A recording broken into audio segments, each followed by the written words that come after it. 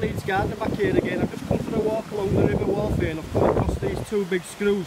I reckon these are the Archimedes screws. They must do something with the water here because it's a really deep elevation. Must take it up and down. Look at the workmanship in this. Let's get a bit nearer for you.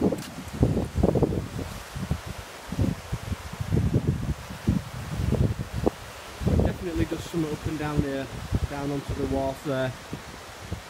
There's private fishing on that river by all accounts, so it keeps saying everywhere, but look at the workmanship in these screws. If you like this video, subscribe. I'll move around for a different angle so you can get a better angle for you. Show you a few bits and bobs as I'm walking round, if anything comes up. Bit wet today though, miserable. See in the background there, there's the other little thing I've shown you before on the videos of Wharfe Meadows. Like a little waterfall type thing. So go on my videos and have a look at that. Look at these screws. Don't forget to subscribe to Leeds Gardener. I keep looking for the likes and everything. Come on, where are you all? I'll show you different stuff. There you go. Keep watching. Thank you. Bye bye.